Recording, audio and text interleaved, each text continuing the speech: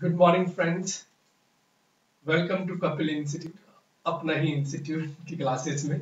तो अपनी ये जो ऑनलाइन क्लासेस रहेंगी, बहुत इंपॉर्टेंट क्लासेस रहेंगे ये ऑनलाइन रीजन क्लास में तो फेस टू फेस हमारा इंटरेक्शन होता ही होता है। लेकिन क्लास के अलावा अगर आपको लगे कि कहीं ना कहीं आपको कुछ टॉपिक्स को रिवाइज करने की ज़रूरत है तो आप इन वीडियोस को देख सकते हैं। और इस वीडियोस में भी जो भी प्रॉब्लम आए तो ऑफकोर्स क्लास में भी मेरे से डिस्कस कर सकते हैं राइट ऑफलाइन क्लास में। नहीं तो ऑफकोर्स एप्लीकेशन में भी अपना डाउट जो है, मुझे शेयर कर सकते हैं। तो अभी टॉपिक हम स्टार्ट करते हैं और आज क्लास बिल्कुल स्मॉल बनाएँगे right small and sweet class रहेगी अपनी और इम्पोर्टेंट क्लास रहेगी। तो क्लास अपनी जो है, आज अपना टॉपिक जो है फ़र्स्ट टॉपिक डिस्कस कर रहे हैं नाउन्स में। जो ऑफलाइन क्लासेस में भी मैं स्टार्ट करता हूँ नाउन्स के साथ। तो इम्पोर्टेंट नाउन्स क्यों है?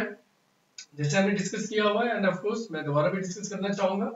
नाउन्स जो टॉपिक एक ऐसा टॉपिक है जो फंडामेंटली बहुत स्ट्रॉन्ग होना चाहिए स्टूडेंट्स का। देखिए एग्ज़ाम आपने कोई भी देना है, चाहे आपने competitive exams like bank SSC और स्टेट अलाइट एग्ज़ाम्स देने फाइन आपने आइल्स करना है कोई भी इंग्लिश के रिलेटेड जो एग्ज़ाम हो, वो आपने देने हैं। सबसे first and foremost important thing जो ग्रामर में आपका अच्छा होना चाहिए, वो आपके हैं नाउन्स राइट नाउन्स के बिना गति नहीं है। तो इसलिए नाउन्स में आपकी एक अच्छी पकड़ होनी चाहिए। तो हमारा टॉपिक भी जो है फ़र्स्ट नाउन्स है। नाउन्स अपने आप में एक टॉपिक्स नहीं है। नाउन्स में बहुत सारे टॉपिक्स हैं नाउन्स के अलावा जो हम कंप्लीट करेंगे, जो नाउन्स के ऊपर डिपेंड करते हैं। अगर मैं थोड़ा सा आपको आइडिया दूँ तो प्रोनाउंस ऑफ़ कोर्स नाउन के साथ रिलेटेड हो जाएगा अपना। प्रोनाउंस के अलावा अपने आर्टिकल्स होंगे राइट एडजेक्टिव्स होंगे राइट डिटर्मिनर्स होंगे होंगे। तो ये सबसे इंपॉर्टेंट टॉपिक्स में से टॉपिक्स है जो नाउन के ऊपर बेस्ड है। तो इसीलिए ये टॉपिक्स करने से पहले तो ज़रूरी है भी हम नाउन्स को समझें। नाउन्स क्या है? और हर एक पॉइंट को गहराई में करने की कोशिश करते हैं। तो आज के हम वीडियो स्टार्ट करते हैं। राइट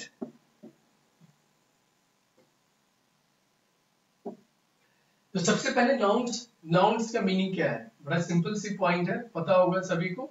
खैर डिस्कस करते हैं। नाउन्स क्या होता है? नेम्स राइट जनरली हम ले लेते हैं। नेम्स होता है। बिल्कुल ठीक है। भाई नाउन्स मतलब नेम्स होता है, बिल्कुल ठीक आपने सोचा राइट right? नेम्स होता है जनरल सेंस में, लेकिन थोड़ा सा अगर हम इसको ब्रॉडर पर्सपेक्टिव से देखें, बड़े नज़रिए से देखें तो नाउन्स क्या है एग्जैक्टली exactly. देखिए, कोई भी चीज़, कोई भी आइडिया कोई भी पर्सन राइट? जो एग्जिस्ट करती है और उसका कोई नाम है, जिस नाम से, जिस शब्द से हम उसको बुलाते हैं, संबोधित करते हैं, वो हमारा नाउन होता है राइट right? मेरे हाथ में मार्कर है इस वस्तु का नाम क्या है? मार्कर। ठीक है? ये सामने आपकी स्क्रीन है। ये नाम है इसका स्क्रीन मेरा नाम कपिल है।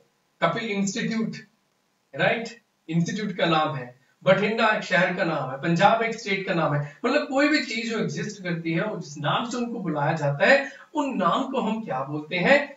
नाउन्स बोलते हैं।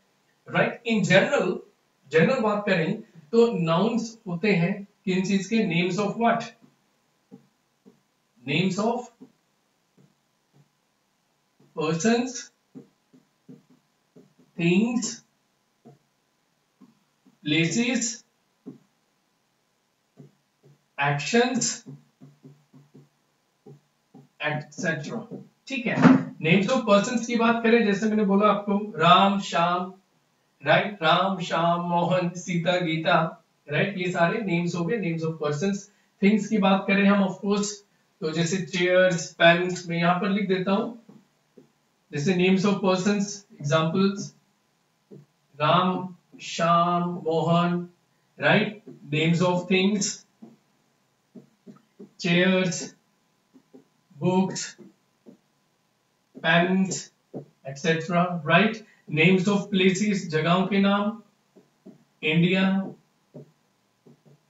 Punjab right names of actions देखो, यहाँ पर एक्शन करना नहीं है, नाम है ये क्रियाओं के नाम एक्शंस के नाम। जैसे कि लाफ्टर हँसी पार्किंग एक्सेट्रा तो ये सिर्फ़ नाम है, ये सिर्फ़ नाम है, इसमें और कुछ नहीं, क्रिया नहीं है, ना ही किसी की क्वालिटी है, ये सिर्फ़ एंड सिर्फ़ नाम है। Right names of place names of person names of things names of places names of actions तो हमने अभी तक ये देखा है, या हमने ये अभी डिस्कस किया अभी तक भी नाउन्स क्या होते हैं? नेम्स होते हैं of course names of person things places actions etcetera या ब्रॉडर पर्सपेक्टिव के बड़े नज़रिए से कोई भी चीज़ एग्जिस्ट करती है, जिस नाम से उसको बुलाते हैं, वो नाउन्स होते हैं। फिर हमने इसका of course one by one इनकी कुछ जो एग्जांपल्स हैं, वो हमने डिस्कस किया है। तो अभी हम थोड़ा आगे बढ़ते हैं।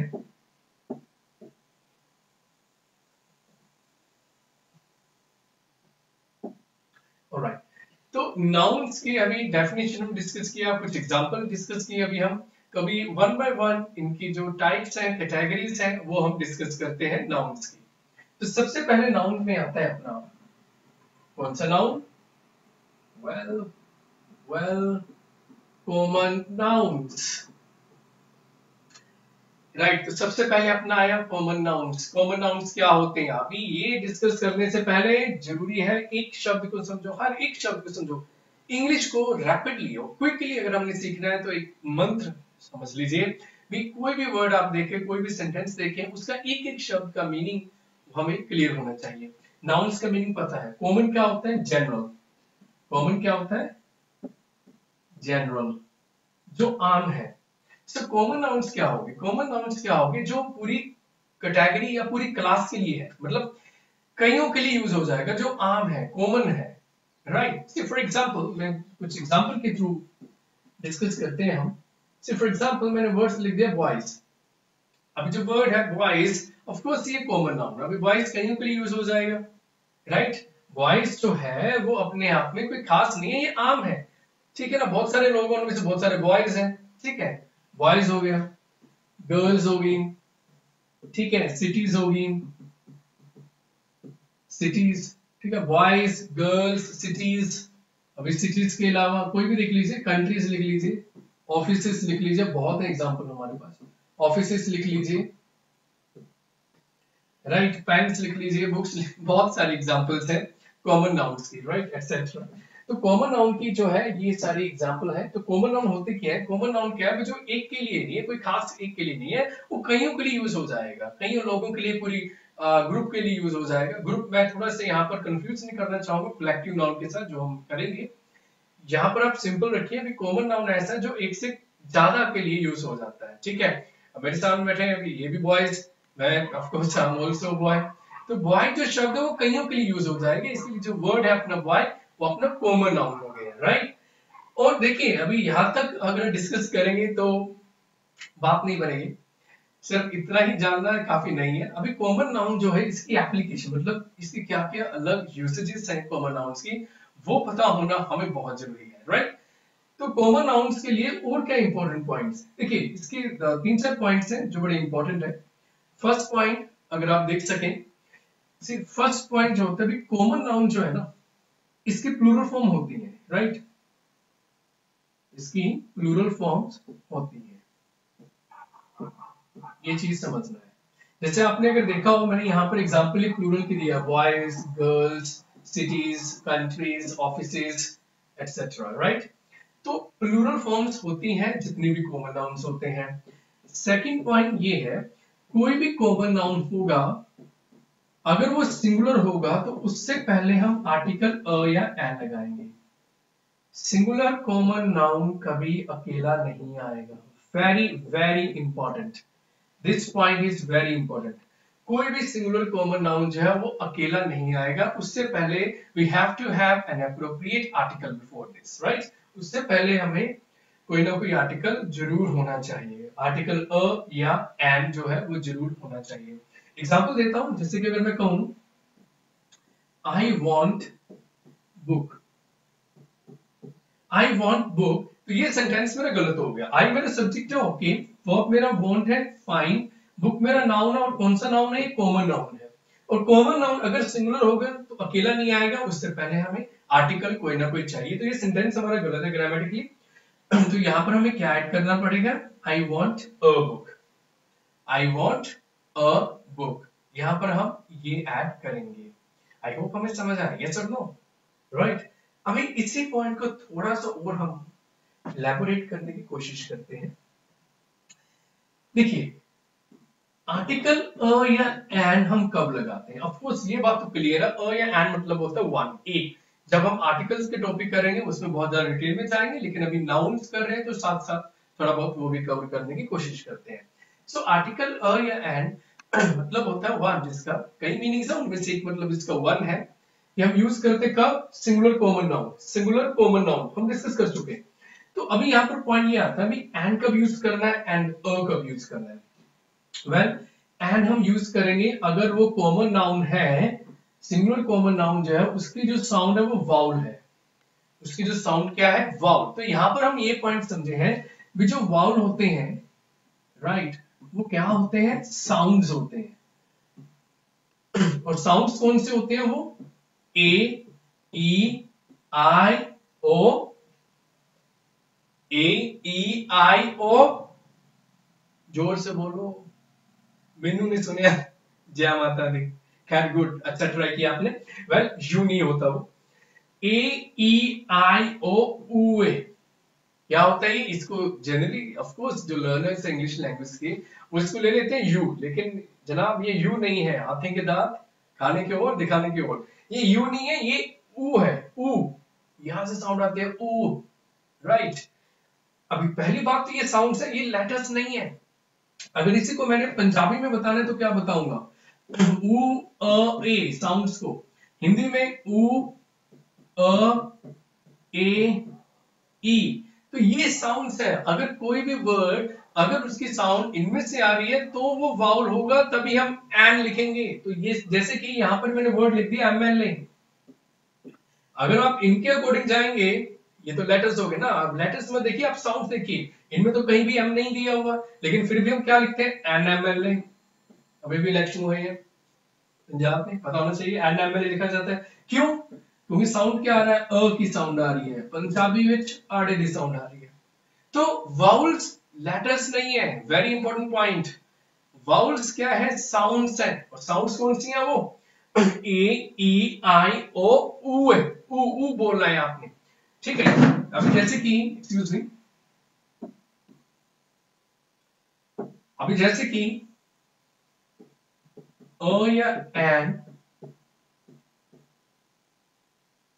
अम्ब्रेला अभी साउंड क्या आ रही है? अ तो ये वाउल हो गया तो क्या लिखेंगे? एन नेक्स्ट अ या एन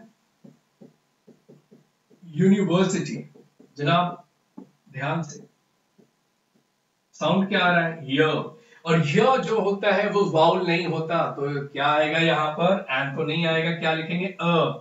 ब्यूटीफुल एग्जांपल्स ठीक है, ये पॉइंट बहुत क्लैरिफाई करते हैं, ये एग्जांपल्स इनफैक्ट पॉइंट को बहुत क्लैरिफाई करती हैं कि लेटर्स जो होते हैं, वो वाउल्स नहीं होते हमें ये देखना भी कोई भी वर्ड साउंड कौन सा प्रोड्यूस कर रहा है, वो डिसाइड करता है भी वो वाउल है या नहीं है। तो एन हम यूज़ करते हैं भी अगर वाउल होगा, अगर कोई साउंड वाउल होगा तो हम एन यूज़ करेंगे, नहीं तो हम क्या यूज़ करेंगे? अ यूज़ करेंगे। नहीं तो हम क्या यूज़ करेंगे? जो है हम अ यूज़ करेंगे। एग्जांपल इसकी मैं दे देता हूँ, अ की यहाँ ऊपर ही लिख देता हूँ। जैसे a book a pen a chair etcetera अब ये वाउल नहीं है ब की साउंड आ रही है प की साउंड आ रही है तो हम यहाँ पर क्या लिख देंगे? अ यूज़ कर देंगे। आई होप यहाँ तक क्लियर हुआ हमें। मैं वापस आ रहा हूँ। तो कॉमन नाउन्स की बात हमारी चल रही थी।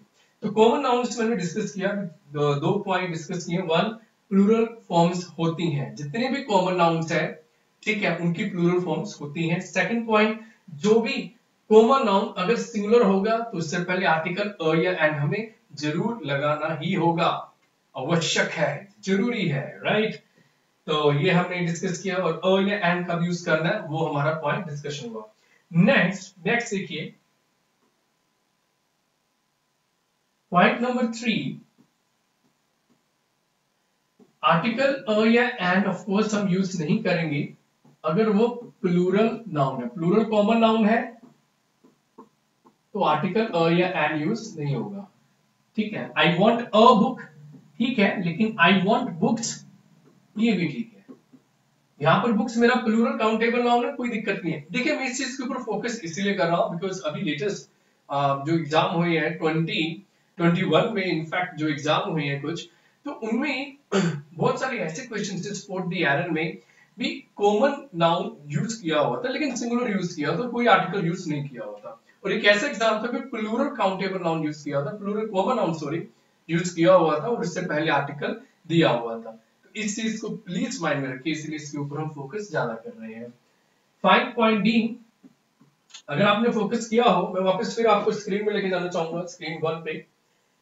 जो मैंने आपको एग्जांपल्स लिखी हैं boys girls cities countries offices कोई एक चीज़ कॉमन लग रही है? ऑफ़ कोर्स एक तो है प्लूरल है, सभी के सभी वर्ड्स क्या है हमारे? प्लूरल है। एक तो ये इसमें कॉमन फैक्टर है सेकंड पॉइंट क्या है, जो ऑफ़ कोर्स कॉमन है, वो है इनके जो फ़र्स्ट लेटर जितने भी मैंने वर्ड्स लिखे हैं, उनके जो फ़र्स्ट लेटर जनरली वो क्या है? वो मेरे सिंगुलर है, और सॉरी वो क्या है? स्मॉल है। सभी के सभी क्या है? वो स्मॉल लेटर्स है। ये बहुत ही इंपॉर्टेंट एक पॉइंट है, जो माइंड में रखना है। भी अगर कोई भी नाउन कॉमन नाउन होगा ना, उसका जो फ़र्स्ट लेटर होगा, वो कॉमन लेटर होगा right common sorry small letter में आएँगे वो। स्मॉल लेटर्स में आते हैं, अगर हम कॉमन नाउन जो है वर्ड यूज़ कर रहे हैं सेंटेंस में। प्रोवाइडेड हाँ ये बात माइंड में रखिए कि वो फ़र्स्ट वर्ड ना हो सेंटेंस अगर फ़र्स्ट वर्ड होगा किसी सेंटेंस का तो उसका फ़र्स्ट लेटर कैपिटल ही होगा, चाहे वो कॉमन नाउन है या कोई भी नाउन है। लेकिन जनरली सेंटेंस में अगर हम कोई सेंटेंस लिख रहे हैं राइट और उसमें कॉमन नाउन अगर लिखा हुआ है तो उसका जो फ़र्स्ट लेटर है, वो क्या आएगा अपना? स्मॉल में आएगा।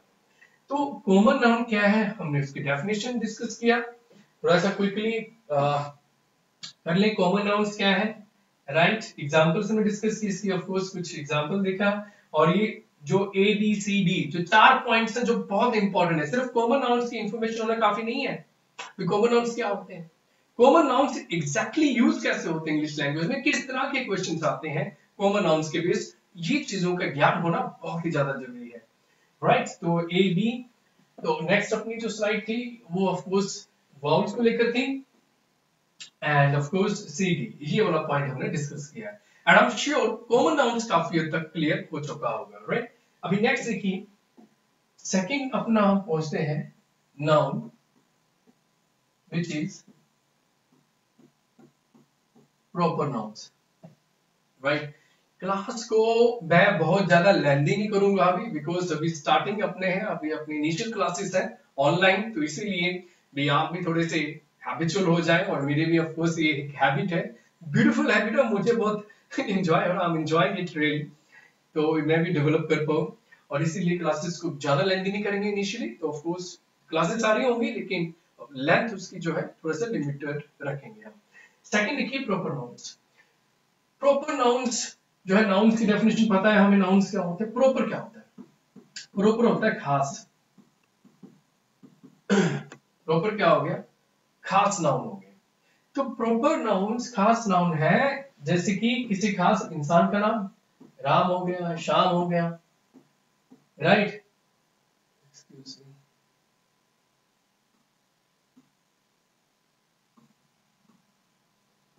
Ram, Shyam,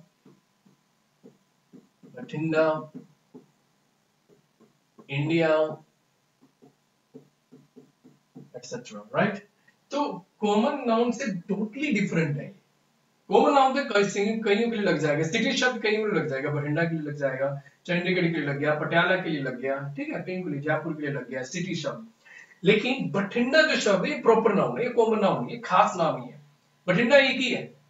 ठीक है इंडिया एक ही है। कंट्री शब्द में कॉमन नाउन है ठीक है, कहीं उंगली लगाओ, कोई दिक्कत नहीं है। लेकिन इंडिया जो शब्द है, वो एक ही है, वो खास है स्पेसिफिक है। तो ये हमारे क्या हो गए? ये प्रॉपर नाउन है। अगेन इसका ज्ञान होना ज़रूरी है सबसे पहले। सेकेंड ऑफकोर्स इनकी एप्लीकेशन फ़र्स्ट पॉइंट क्या है?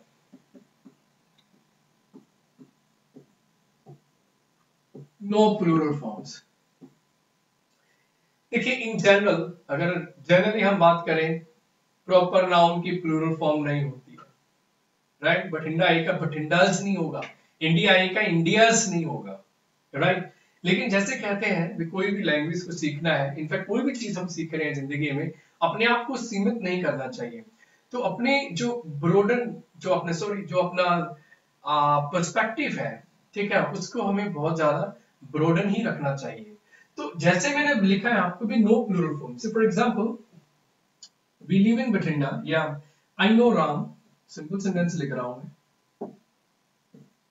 आई नो राम वेल जो राम क्या है? एक पर्सन का नाम है प्रॉपर नाउन है. भी मैं राम को अच्छी तरह जानता हूँ. ठीक है? तो प्लूरल इसका नहीं होगा. आई नो राम्स नहीं आएगा. लेकिन लेकिन कहानी में यहाँ पर ट्विस्ट आ गया। ट्विस्ट ये आ गया। जब किसी नाम को, जब किसी नाम को एज अ कॉमन नाउन ले लिया जाए कॉमन क्या होता है जो कईयों के ऊपर अप्लाई मान लीजिए मेरी क्लास में, मान लीजिए अभी 20 लोग हैं जिनके नाम राम है। मेरी क्लास में 20 लोग हैं जिनके नाम राम है। तो यहाँ पर राम मेरा क्या हो गया? वो कॉमन नाउन हो गया। मैं फिर क्या लिखूँगा? There are twenty Rams in my class मेरी क्लास में ट्वेंटी राम्स हैं। तो यहाँ पर राम्स क्या हो गया मेरा ये? कॉमन नाउन की तरह मैं उसको जो है वो ट्रीट कर रहा हूँ और इसीलिए मैंने फ़र्स्ट लेटर भी क्या रख दिया, इसका स्मॉल रख दिया। भी राम एक नहीं है, कोई खास नहीं है। अरे बीस लोग हैं जिनके नाम राम है तो यहाँ पर राम को मैंने क्या कर दिया? कॉमन नाउन बना दिया लेकिन इन जनरल ऐसा नहीं होता है। तो प्रॉपर नाउन जो है, उसको आगे हम कोई भी आर्टिकल है उसके आगे कोई भी प्लूरल नाउन हम उसका नहीं यूज़ करते हैं। Right right? लेकिन ये एग्जांपल आपको मैंने इसलिए दिया है भी, कभी रंजिश हो जाए, कभी गुस्सा आ जाए अच्छा नहीं अच्छा ऐसा होता है, मुझे एक चीज़ और पता है, एक स्टेप आगे पता है। ठीक है, वो चीज़ उस केस में आप ये नोट कर सकते हैं। नाउ इसके बाद हम आगे पहुँचते हैं। इस एग्जांपल के बाद। सेकंड पॉइंट कोई आर्टिकल नहीं आएगा। आर्टिकल अ या एन नहीं आएगा। किसके आगे? प्रॉपर नाउन के आगे। तो अगर प्रॉपर नाउन है, कोई आर्टिकल नहीं लिखेंगे। राइट ना ही अ एन ना ही द ठीक है? वी लिव इन बठिंडा हम बठिंडा रहते हैं। ठीक है भाई? अच्छी बात है रहते हो वी लिव इन बठिंडा तो अब मैं यहाँ पर अ बठिंडा द बठिंडा नहीं लिखूँगा. अ बठिंडा द बठिंडा नहीं लिखूँगा. बठिंडा एक स्पेसिफिक जगह है तो मैं कोई भी आर्टिकल यूज़ नहीं करूँगा राइट एक प्रॉपर नाउन है, कोई भी आर्टिकल नहीं यूज़ करूँगा. अमृतसर रहते तो ये नहीं लिखेंगे ना. He lives in an Amritsar he lives an Amritsar नहीं आएगा ही लिव्स इन अमृतसर आएगा. हाँ लेकिन यहाँ पर, लेकिन अगेन कहानी में ट्विस्ट कहानी में ट्विस्ट ये है कि ऑफ़ कोर्स कोई भी नाउन है ना, उसके आगे द तो लग ही सकता है कब? अगर मैं इसको खास बना दूँ। तो खास बना दूँगा तो क्या बन जाएगा? मैं लिखूँगा, the Bathinda of my dreams तो यहाँ पर बठिंडा कौन से बठिंडा की बात हो रही है? यहाँ पर बठिंडा की बात हो रही है मेरे सपनों के बठिंडा। बठिंडा कौन सा? मेरे सपनों वाला जो बठिंडा है, मैं उसकी बात कर रहा हूँ। Right right? तो यहाँ पर मैंने ऑफकोर्स द यूज़ कर लिया। तो लग जाता है, ऐसा नहीं नहीं लगता है। ठीक है? ऐसे ही अगला एक पॉइंट और देखिए।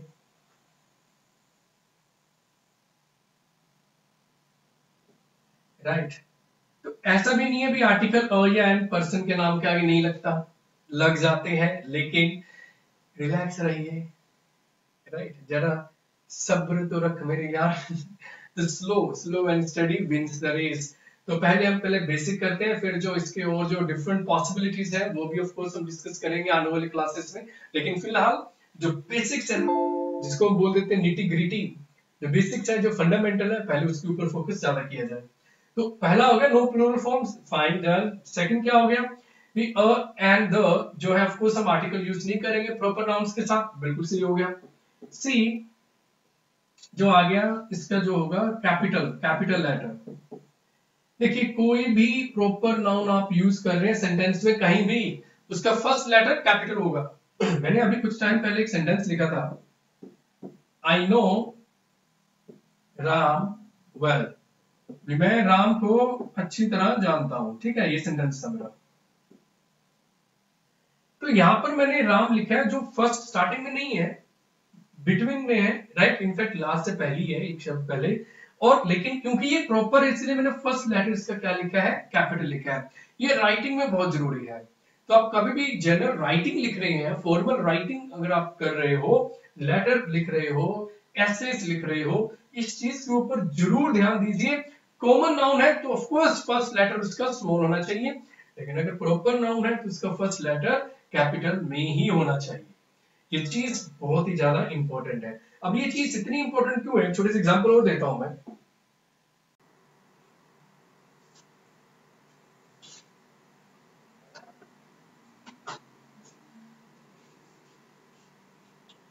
नेक्स्ट so, अपना है कलेक्टिव नाउन्स बहुत ही इंपॉर्टेंट है कलेक्टिव नाउन्स नंबर थ्री पे आता है।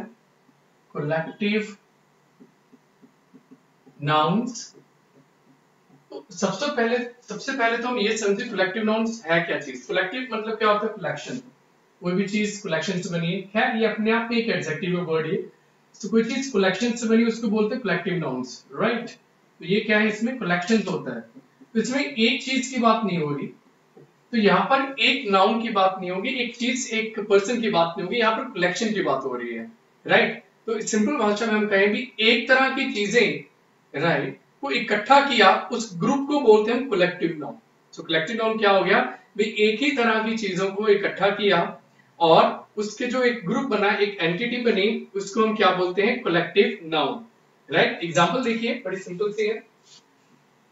For example army class right family team bouquet bunch, fleet, right? Herd, commission, committee, right? Commission, committee, audience, etc. तो ये हमारे स्पेशल और अक्सर एग्ज़ाम में आए हुए कलेक्टिव नाउन्स हैं। आर्मी क्या होता है? कलेक्शन ऑफ़ सोल्जर्स क्लास क्या होता है? होता है class is collection of students family is group of members members का ग्रुप है जिनके साथ हमारा रिलेशनशिप है। Third number four is team team क्या होता है? Collection of players bouquet is collection of flowers collection of flowers flowers mean जो फूल होते हैं उनके ग्रुप को, उनके कलेक्शन को हम बोलेंगे bouquet bunch now what is bunch bunch होता है कलेक्शन ऑफ़ कीज चाबियों के गुच्छे को या ग्रेप्स अंगूरों के गुच्छे क्या बोलते हैं क्या बोलेंगे हम? बंच तो बंच क्या होता है? कलेक्शन है कलेक्शन ऑफ़ कीज है, चाबियों के गुच्छे को या कलेक्शन ऑफ़ ग्रेप्स जो अंगूर होते हैं, उनके कलेक्शन को हम क्या बोलते हैं? Bunch next is fleet very important fleet is collection of collection of ships ships जो समुद्री शिप होते हैं, वो या कलेक्शन ऑफ़ कार्स जो कार्स होती हैं उनके कलेक्शन को हम क्या बोल देते हैं? फ्लीट हर्ड होता है कलेक्शन ऑफ़ एनिमल्स एनिमल्स में जैसे कलेक्शन ऑफ़ लॉइंस हो गया collection of sheep collection of sheep हो गई। भेड़ जिसको बोल देते हैं वो कमीशन क्या होता है? मेंबर्स होते हैं कलेक्शन ऑफ़ मेंबर्स होते हैं जो किसी पॉइंट uh, के ऊपर डिसाइड करते हैं डिसीज़न वगैरह देते हैं डिस्प्यूट को रिजोल्व करते हैं। Right committee almost same point audience audience क्या होता है? ऑडियंस होता है ग्रुप ऑफ़ लिसनर्स लिसनर्स का एक ग्रुप होता है जो सुनता है किसी प्रोग्राम को, किसी कॉन्सर्ट को. तो ये हमारे क्या है? कलेक्टिव नाउन्स है. तो सबसे पहले हमें समझना चाहिए कि कलेक्टिव नाउन्स है, वो होते क्या है? राइट ये हमारे कलेक्टिव नाउन्स है. ये कलेक्शन से बने, यहाँ पर एक की बात नहीं हो रही है. एक की बात नहीं हो रही है. यहाँ पर एक पर्सन की बात नहीं हो रही है, एक वस्तु की बात नहीं हो रही है, एक ग्रुप की बात हो रही है. कलेक्टिव नाउन में क्या है? ग्रुप है. राइट आप देख सकते हैं I have got five like everybody has I everybody should have यहाँ पर like you can see five fingers right पाँच है, और इसको इकट्ठा किया तो बन गया पंच। तो ये मेरा कलेक्टिव नाउन ये मेरा कलेक्टिव नाउन है। तो कलेक्टिव नाउन होता भी सिमिलर जो थिंग्स हैं, या सिमिलर जो लोग हैं, उनको इकट्ठा किया, एक ग्रुप बनाया, और उस ग्रुप को कलेक्टिव नाउन बोलते हैं। और कलेक्टिव नाउन एक गाना गाते हैं अपने लिए, और वो गाना है, हम साथ साथ हैं। वो एक साथ है, एक यूनिट में है, एक ग्रुप में है। और इसीलिए अगला जो कंसेप्ट आता है कलेक्टिव नाउन को लेकर, इसीलिए जो कलेक्टिव नाउन्स होते हैं, जब इनको एज ए सब्जेक्ट यूज़ किया जाए तो हम इनके साथ सिंगुलर वर्ब लगाते हैं। तो नेक्स्ट अपना जो पॉइंट आ गया वी कलेक्टिव नाउन को एज ए सब्जेक्ट यूज़ कर रहे हैं। फॉर एग्जांपल मैंने लिखा द टीम is और are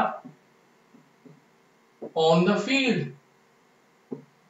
Right right? तो मेरा टीम क्या है? द टीम क्या है मेरा? Collective noun collection of players होते हैं।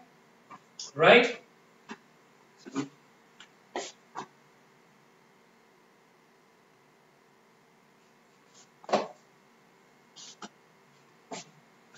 Right so the team क्या है अपना? Collective noun collection of players होते हैं। तो हम यहाँ पर कलेक्टिव नाउन सब्जेक्ट है तो सिंगुलर लेंगे ग्रुप की बात हो रही है तो हम क्या लिखेंगे? इज़ लिखेंगे। क्योंकि कलेक्टिव नाउन एक ग्रुप है, एक यूनिट है राइट लेकिन, मान लीजिए कलेक्टिव नाउन में दरार आ गई है, आपस में जो भी लोग हैं, उसमें लड़ रहे हैं, झगड़ रहे हैं और बिखर गए हैं अलग अलग हो गए हैं तो क्या फिर वो कलेक्टिव नाउन रहा? नहीं, फिर वो साथ साथ नहीं रहे, वो बिखर गए हैं अलग अलग हो गए हैं राइट और उस केस में फिर वो एक ग्रुप नहीं रहा, क्योंकि अलग अलग हिस्सों में बढ़ चुके हैं तो फिर वहाँ पर हम कलेक्टिव नाउन को सिमिलर नहीं प्लूरल की तरह ट्रीट करेंगे। एग्ज़ाम्पल देखिए सेम सब्जेक्ट ले रहा हूँ मैं। द टीम इज़ और are divided over the issue right ना तो यहाँ पर डिवाइड की बात हो रही है तो एक ग्रुप की बात नहीं हो रही, यहाँ पर अलग अलग हो चुके हैं। तो यहाँ पर हम टीम मेरा जो है कलेक्टिव नाउन नहीं रहा, बिखर चुका है तो मैं यहाँ पर सिंगुलर नहीं प्लूरल वर्ब आर यूज़ करूँगा। कलेक्टिव नाउन एक जनरल सेंटेंस है तो डेफिनेटली हम क्या यूज़ करेंगे? सिंगुलर सिंगुलर वर्ब यूज़ करेंगे बिकॉज़ कलेक्टिव नाउन एक ग्रुप है। लेकिन अगर कलेक्टिव नाउन में डिवाइड आ गया डिस्प्यूट आ गया राइट डिवाइड आ जाए डिस्प्यूट होता है लड़ाई झगड़ा डिस्प्यूट हो जाए किसी बात को लेकर राइट या आर्ग्यू हो रहा है, बहस हो रही है राइट डिफरेंसेस का भाव आ रहा है, अंतर का भाव आ रहा है राइट तो मतलब क्या है? वो जो कलेक्टिव नॉन नहीं रहा, वो बिखर चुका है अलग अलग हो चुका है और उस केस में हम कलेक्टिव नॉन के साथ सिंगुलर नहीं प्लूरल वर्ब हम लगाएँगे। आई होप यहाँ तक क्लियर हुआ। इसके लेकिन एक दो एग्जांपल सब और करते हैं। देखिए नेक्स्ट है, मैं कहता हूँ हिज फैमिली अब फैमिली क्या है? मेरा कलेक्टिव नाउन है। हिज फैमिली इज़ और are a good family alright तो फैमिली क्या होता है? कलेक्टिव नाउन एक जनरल सेंटेंस है, ये ग्रुप होता है। और ऑफ़ कोर्स कलेक्टिव नाउन एक ग्रुप है, हम साथ साथ हैं, और इसे ये फैमिली जो एक सिंगुलर की तरह हम ट्रीट करेंगे एंड सिंगुलर वर्ब इज़ लगाएँगे। राइट नेक्स्ट लिखिए इसमें देखिए, ये सेंटेंस आप सभी के लिए तो मेक श्योर sure आप जल्दी से जल्दी करें इसको। Sentence is his family is और are arguing over property property को लेकर प्रॉपर्टी के ऊपर वो आर्ग्यू कर रहे हैं, बहस कर रहे हैं। तो यहाँ पर फैमिली जो मेरा है, वो नाउन रहा। ऑफ़ कोर्स नहीं रहा, क्योंकि आर्ग्यूमेंट हो रहा है डिफरेंसेस का भाव आ रहा है। देयरफॉर यहाँ पर ये कलेक्टिव नाउन जो है, वो नहीं रहा, ये बिखर चुका है अलग अलग हो चुका है। हम यहाँ पर क्या लिखेंगे? आर यूज़ करेंगे। राइट आई होप ये समझ आया होगा। एक और एग्ज़ाम्पल लीजिए, जो एग्ज़ाम में आया हुआ है।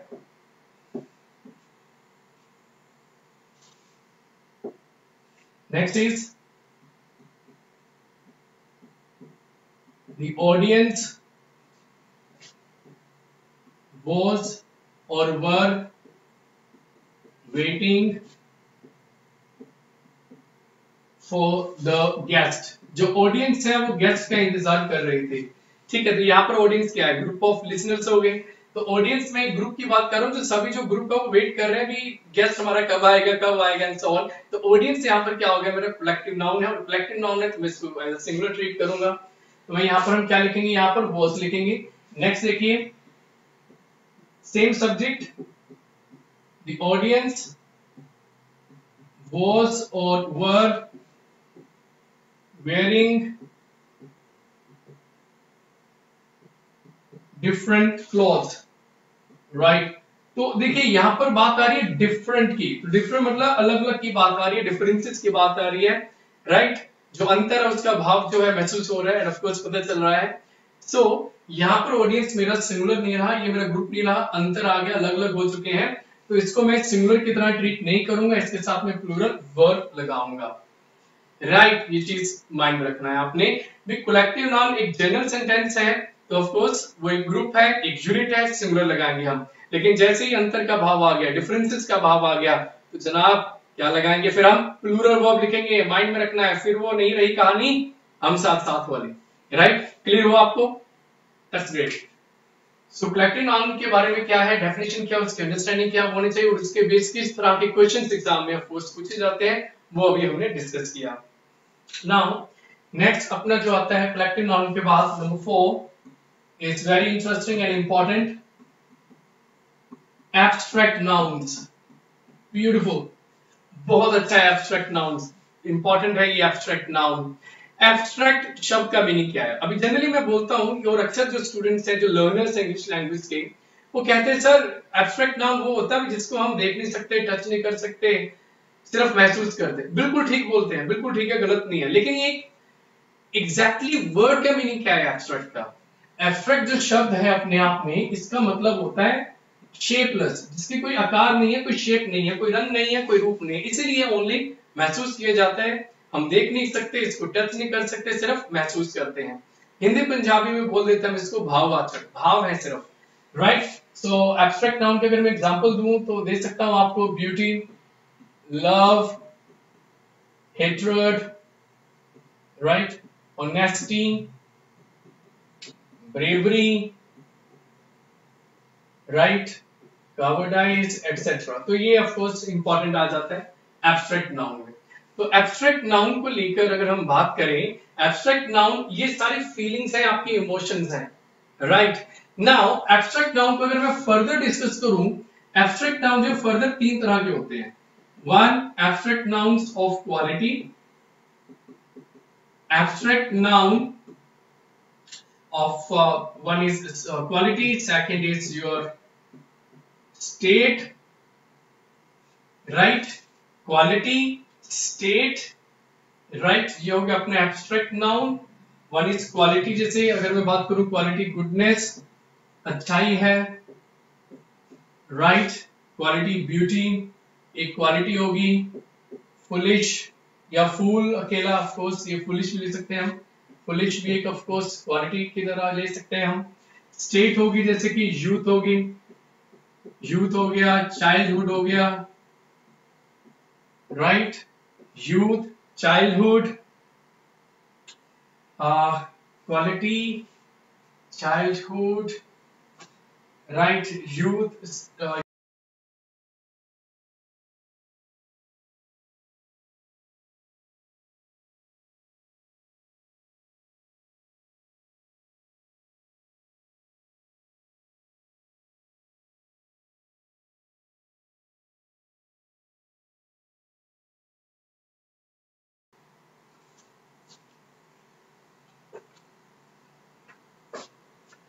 right so state जैसे कि यूथ है चाइल्डहुड है राइट? ओल्ड है ये अपने आगे है स्टेट नंबर सी मतलब पॉइंट सी पे आता है अपना एक्शंस राइट right? आपके जो एक्शंस हो गए laughter laughter theft parking right? ये सारे आ जाते हैं। खैर इसके अलावा इमोशंस भी आ जाते हैं। इमोशंस स्टेट ऑफ़ बीइंग उस स्टेट में आ जाती हैं। सो so, ये मेरे फर्दर एब्स्ट्रैक्ट नाउन्स की फर्दर इसके जो टाइप्स हैं। एब्स्ट्रैक्ट नाउन होता है शेपलेस देख नहीं सकते। Right right? जनरल इसके जो डेफिनेशन है वो हमने कर लिया। और इसके अलावा इसके जो एग्जांपल्स है वो हमने डिस्कस किया। फर्दर गोइंग इन डेप्थ अगर हम इन डेप्थ जाएँ ऑफ़ कोर्स अंडरस्टैंड करें इस पॉइंट को समझने के भी एग्जैक्टली एब्स्ट्रैक्ट नाउन के क्या क्या टाइप्स हैं वो हमें पता चलता क्या? एब्स्ट्रैक्ट नाउन में क्वालिटी आ गई। कोई चीज़ अच्छी है, बुरी है ब्यूटी है एंड सो ऑन ये सारे एब्स्ट्रैक्ट नाउन्स में आएँगे। इसके अलावा जो स्टेट है, वो भी, जो स्टेट मतलब वो किस प्रकार के यूथ है चाइल्डहुड है ओल्ड है, ये सारे जो है एग्जांपल्स आती हैं स्टेट में, ये भी सारे हमारे एब्स्ट्रैक्ट नाउन है। इसके अलावा जो एक्शन है लाफ्टर थेफ्ट पार्किंग ये भी हमारे एब्स्ट्रैक्ट नाउन्स में आते हैं। इसके अलावा इसके अलावा, जो आर्ट्स आ गया आर्ट्स है ग्रामर है वर्ड ये भी हमारे एब्स्ट्रैक्ट नाउन में आते हैं। ये भी हमारे एब्स्ट्रैक्ट नाउन का हिस्सा बनते हैं। तो एब्स्ट्रैक्ट नाउन की डेफिनेशन उसके एग्जांपल्स और उसके जो टाइप्स हैं, वो हमें पता होने चाहिए, थोड़ा सा डिटेल में पता होने चाहिए। भी एब्स्ट्रैक्ट नाउन के भी फर्दर जो है जो थ्री जो स्टेट्स हैं इंपॉर्टेंट वाले जो ऑफ़ कोर्स पता होने चाहिए हमें। Right right? यहाँ तक एब्स्ट्रैक्ट नाउन है, लेकिन इसके बेस क्वेश्चन पॉइंट क्या बोलते हैं? ना फ़र्स्ट पॉइंट ये बनता है हम आर्टिकल कोई नहीं लगाते हम कोई भी आर्टिकल नहीं लगाएँगे। सॉरी uh, हम कोई भी आर्टिकल जो है वो नहीं लगाएँगे before abstract noun before abstract noun के आगे हम कोई आर्टिकल नहीं लगाएँगे। हम क्या बोलते हैं? हम बोलते हैं beauty is in the eyes beauty is in the eyes जो ब्यूटी है ऑफ़ कोर्स वो देखने वालों के नज़रों के ऊपर डिपेंड करती है, ना कि ऑफ़ कोर्स हम बोलते हैं द ब्यूटी या अ ब्यूटी तो हम कोई भी आर्टिकल जो है वो एब्स्ट्रैक्ट नाउन के साथ नहीं लगाते हैं। यहाँ तक आई होप समझ आया होगा। लेकिन लेकिन, अगर हम इसको स्पेसिफाई करेंगे, तब फिर हम द लगा देते हैं। फॉर एग्ज़ाम्पल मैंने बोला the honesty of the child the honesty of the child interest me the honesty of the child impressed me तो यहाँ पर मैंने ऑनेस्टी जो कि एक नाउन हो गया मेरा राइट right? इसके आगे मैंने आर्टिकल द लगाया। क्यों? क्योंकि ऑनेस्टी किसकी ऑनेस्टी की बात कर रहा हूँ मैं? बच्चे की चाइल्ड की। तो अदरवाइज़ मैं अगर ऑनेस्टली जनरल सेंटेंस बनाऊँगा जो कि एक एब्स्ट्रैक्ट नाउन है, मैं कोई आर्टिकल नहीं लगाऊँगा बिकॉज़ एब्स्ट्रैक्ट नाउन को जब हम जनरल सेंटेंसेस में यूज़ करते हैं तो कोई भी आर्टिकल हम नहीं लगाते। एग्जांपल बचपन से पढ़ते आ रही है एक sentence honesty is the best policy तो कोई भी आर्टिकल वगैरह हम नहीं लगाएँगे ऑनेस्टी के आगे जनरल सेंटेंस है। लेकिन ऊपर हमने द क्यों लिखा? बिकॉज़ यहाँ पर हमने एब्स्ट्रैक्ट नाउन को स्पेसिफाई किया है। ये चीज़ समझिए राइट एक और इंटरेस्टिंग पॉइंट है जो ऑफ़ कोर्स मैं अपने नेक्स्ट वीडियो में ज़रूर डिस्कस करूँगा आपके साथ। नॉइज़ को लेकर। नॉइज़ होता है ना शोर। नॉइज़ को लेकर। भी नॉइज़ के साथ आर्टिकल अ वगैरह लग जाता है। जैसे do not make a noise अभी बहुत सारे स्टूडेंट ये समझते हैं सर नॉइज़ क्या है? अनकाउंटेबल नाउन है या एब्स्ट्रैक्ट नाउन है? कुछ कहते हैं, सर, ये दोनों है। राइट लेकिन ये दोनों नहीं है। नॉइज़ जो है एब्स्ट्रैक्ट नाउन नहीं होता। नॉइस जो है अनकाउंटेबल नाउन होगा। क्यों है? क्या रीजन अब हम डिस्कस करेंगे आने वाले अपने जो नेक्स्ट वीडियो उसमें खैर, यहाँ पर एब्स्ट्रैक्ट नाउन के ऊपर जो क्वेश्चंस बनते हैं एग्ज़ाम में, वो इस तरह से आते हैं। या तो आपको एब्स्ट्रैक्ट नाउन के आगे आर्टिकल दिया होगा, जो कि गलत है। अगर एब्स्ट्रैक्ट नाउन के आगे आर्टिकल दिया है तो लगता है द, और वो भी कब लगता है? जब हम इसको स्पेसिफाई करेंगे। राइट आई होप यहाँ तक हमें समझ आया। एक और पॉइंट जो है, अगर हम थोड़ा सा ध्यान दें एब्स्ट्रैक्ट नाउन को लेकर एब्स्ट्रैक्ट नाउन के साथ एसओरियस नहीं लगाते हम। एब्स्ट्रैक्ट नाउन का प्लूरल फॉर्म जो है, वो नहीं होता। इनके साथ जो है हम एस और एस जो है, वो नहीं लगाएँगे। हम कोई भी इनके साथ नहीं लगाएँगे एस या ई एस इनका प्लूरल फॉर्म नहीं होता। इसके बेस भी एक आधा क्वेश्चन एग्ज़ाम में आ जाता है कई बार। राइट आई होप यहाँ तक क्लियर होगा. एब्स्ट्रैक्ट नाउन को लेकर कलेक्टिव नाउन हमने डिस्कस कर चुके हैं. एब्स्ट्रैक्ट नाउन हमारा डिस्कशन डिस्कस हो चुका है. अभी नेक्स्ट हम पहुँचते हैं अपना पॉइंट एक्सक्यूज मी या नेक्स्ट हम पहुँचते हैं अपना नंबर फाइव के ऊपर. वो है हमारा मटेरियल नाउन पहली बात तो हम ये समझे मटेरियल नाउन होता क्या है? अभी मैंने किसी से पूछा when I was in Delhi तो मैंने पूछा किसी से भी what is a material noun तो मुझे एग्जांपल्स आंसर मिलते हैं। सर ये मटेरियल नाउन है, वो मटेरियल नाउन है। अभी मैंने किसी से पूछा चाहिए बताओ, ये फ़ैन जो है फ़ैन है, ये मार्कर है राइट तो ये क्या मटेरियल नाउन है? अभी बहुत सारे कैंडिडेट्स बहुत सारे लर्नर्स समझते हैं हाँ सर ये तो मटेरियल नाउन है राइट जो लकड़ी है वुड जो है, वो मटेरियल नाउन होगी सर वुड मटेरियल नाउन है। फिर मैंने क्वेश्चन पूछा भी कुर्सी क्या है? वो बोले सर वो भी मटेरियल नाउन है। खैर यहाँ पर थोड़ा सा कॉन्फ्लिक्ट हो गया। वुड मटेरियल नाउन है लेकिन लेकिन कुर्सी मटेरियल नाउन नहीं है वो एक कॉमन नाउन है। तो मटेरियल नाउन होता क्या? मटेरियल नाउन मतलब मैटर की बात करते हैं सब्सटेंस की बात कर रहे हैं। हम वस्तु की बात कर रहे हैं जो वस्तु हम यूज़ करते हैं किसी प्रोडक्ट को बनाने के लिए। मेटीरियल है। सो so, मटेरियल क्या है? वो मटेरियल वो वस्तुओं के नाम है जो हम यूज़ करते हैं कोई प्रोडक्ट बनाने के लिए। उनके हम बोलते हैं मटेरियल नाउन्स जैसे कि एग्जांपल अगर मैं दूँ आपको वुड हो गया मटेरियल नाउन है आयरन हो गया मटेरियल नाउन है सिल्वर हो गया मटेरियल नाउन है डायमंड हो गया मटेरियल नाउन है राइट गोल्ड हो गया ब्रोंज हो गया एटसेट्रा प्लास्टिक हो गया, ये मेरा क्या है? मटेरियल है।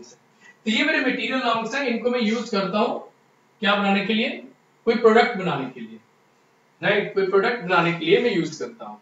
राइट तो ये फ़र्स्ट पॉइंट समझिए। इसके ऊपर कई क्वेश्चन आते हैं। मटेरियल नाउन्स को लेकर कई जो है क्वेश्चन आते हैं। इसको लेकर अगर प्रेपोजिशन की अगर मैं बात करूँ प्रेपोजिशन में मटेरियल नाउन के क्वेश्चंस आते हैं। Made of and made from को लेकर। तो मेड मतलब तो दोनों का बनाना ही है। कुछ बनाना है, आपने कुछ प्रोडक्ट बनाया है, कोई वस्तु बनी है। तो लेकिन प्रेपोजिशन में question O F O and F R M from को लेकर आता है। मेड ऑफ़ या मेड फ्रॉम क्या आएगा? अभी यहाँ पर समझिए, बात ये है मेड ऑफ़ हम लगाएँगे जो वस्तु, जो मटेरियल हमने यूज़ किया है और जो प्रोडक्ट बना है, उनमें समानताएँ हैं। हम देख सकते हैं यार ये जो प्रोडक्ट बना है कुछ वस्तु से बना है तो फिर हम क्या लगाएँगे? मेड ऑफ़ से फॉर एग्जांपल ये मेरे सामने चेयर बैठी, जिसपे ये बैठा है बंदा। अभी ये चेयर बैठी चेयर पे बैठा है जो। तो इसको मुझे पता चला, यार ये जो चेयर जो है, वो तो लकड़ी की बनी है वुड की बनी है। तो मुझे पता चल रहा है कि लकड़ी जो है वुड जो है, वो मटेरियल यूज़ किया गया वो कुर्सी बनाने के लिए चेयर बनाने के लिए। तो अगर जो आपने वस्तु यूज़ की है, और जो प्रोडक्ट बना है, उन दोनों में समानताएँ हैं सिमिलैरिटीज है, पता चल रहा है वो प्रोडक्ट किससे बना है, फिर आप लगाएँगे made of right example the chair is made of wood वो जो कुर्सी है, वो बनी है लकड़ी से। तो वहाँ पर एग्ज़ाम में आपको मेड के बाद प्रेपोजिशन दिया होगा मेड ऑफ़ लिखेंगे मेड फ्रॉम लिखेंगे मेड बाय लिखेंगे मेड विद लिखेंगे। तो सिंपल सा पॉइंट है, इस चीज़ को माइंड में रखना है। मेड फ्रॉम लिखेंगे जो आपने वस्तु, जो मटेरियल यूज़ किया है और जो प्रोडक्ट बना है, उनमें समानताएँ नहीं है।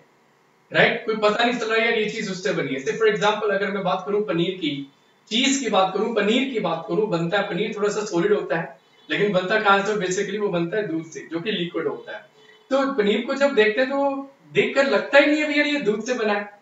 तो कोई चीज़ दूध से, जैसे कि मैं इस केस की बात कर रहा हूँ, पनीर की बात कर रहा हूँ, दूध से बनी है जो कि लिक्विड है, बना है पनीर जो कि सॉलिड है। सिमिलैरिटी नहीं है। तो क्या लगाएँगे फिर हम? फिर लगाएँगे made from example